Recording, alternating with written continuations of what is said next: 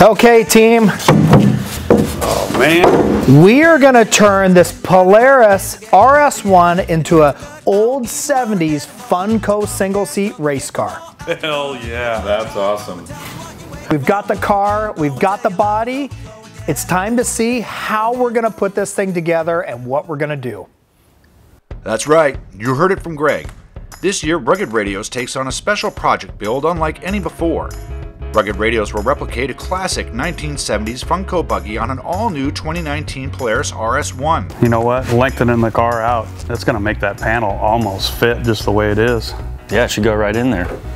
The crew gets busy, wasting no time, and begins the process with a full teardown right to the frame. We're all waiting. He's all being real quiet.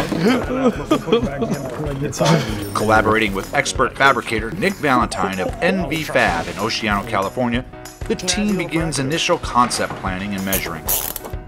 Using original Funco body panels and pods as reference, the body is put into position to evaluate placement, sizing, and any required changes needed to make it work on the Polaris RS1. Final decisions, angles, and cuts are carefully calculated and measured. Once the team is confident in the final decision, the panels are sent out to McQueen Prototype Design in Gardena, California. Here, the expert team spends hours at McQueen's replicating the final fiberglass body panels. While all that's going on, this RS1 build also requires some custom sheet metal work. With unique angles and cuts and rolls required, the team gets to work on additional panels, the door, and visor. Getting it right is a perfect combination of skill and artistry.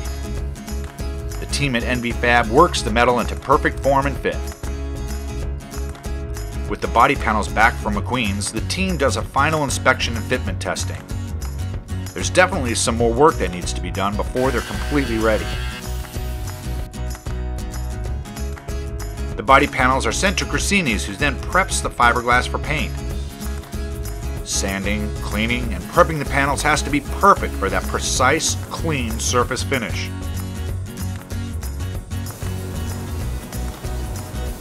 With the frame assembly complete, the frame has to be powder coated to give it that total factory feel.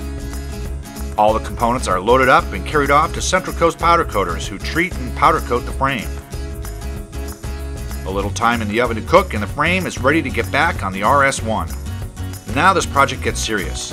All the components and pieces are back and it's time for the team to put their talent to the test.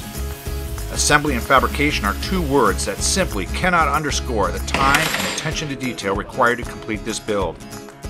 Of course, no rugged build is complete without KC highlights to light the way, and what a perfect match to this throwback SS1 build. Lone Star Racing was the choice for the SS1 for suspension improvements. From front to back, with A-arms to trailing arms and radius arms, the LSR setup delivers the look and performance needed to hit the trails. BF Goodrich Baja KR2s give the SS1 some solid feet and traction, while the Walker Evans Legend V-Lock wheels finish off the look and style of this build. Brand Creative West brought life to the SS1 project by completing the graphics with a classic throwback look to the 1970s. While the team is working on the build, it's time to give you a little backstory behind this project. You know, Steve Burchard came to work for me a few years ago, and before I hired him, I didn't even know that I knew his brother. His brother, Ron Burchard, I used to deal with his brother before, and he supported me and my company. Well, you know what? When Steve came to work for me, he told me about his brother, but his brother had passed away. His brother worked for Funco Racing, was a big part of the family, and he built his own single seat Funco race car. Well, while racing that race car in their first race, 20 miles in, he had a massive heart attack and passed away. So right from the start, when Greg and I started talking about doing this build, uh, turning an RS1 into an SS1, it's meant the world to me. Um, everything with my brother at Funco, my whole family, all the history that we have with Funco, and then even my dad racing back the original Mint 400 he raced in. So taking this car back to that homage, it just means the world to me. So this build, just like all of Rugged's builds, over the top. The SS1 out of an RS1 was no different. Uh, the geometry on these cars to make those fiberglass, those cool fiberglass panels work on this wider and taller car with A-arm suspension instead of a beam was definitely going to be a challenge. So, when I came up with the concept of this build, I wanted to have it inspired by Ron Burchard. And you know, we did exactly that. I had Steve very instrumental into the build of this car. But you know what? We got to the point in the build that I said, you know what, Steve? You can't see it anymore. Because in the background, I had some special touches. For the final days and hours of the build, Steve has been off site as all the special finishing touches come together. The touches that will hold a special meaning for Steve. His brother's steering wheel, the embroidered seat, a reminder of Ron's love of Diet Pepsi. Ron's racing number worked into the graphics around the vehicle, and of course, a special message across the visor.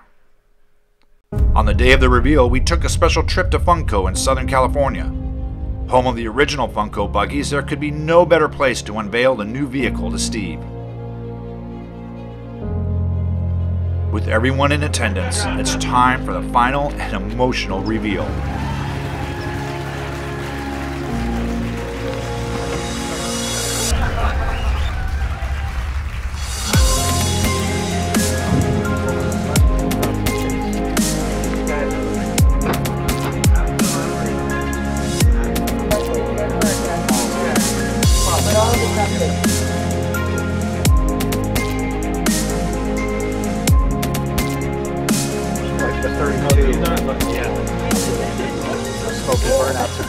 When the tears dried, there was only one thing left to do. That should be obvious. And that's take it for a ride.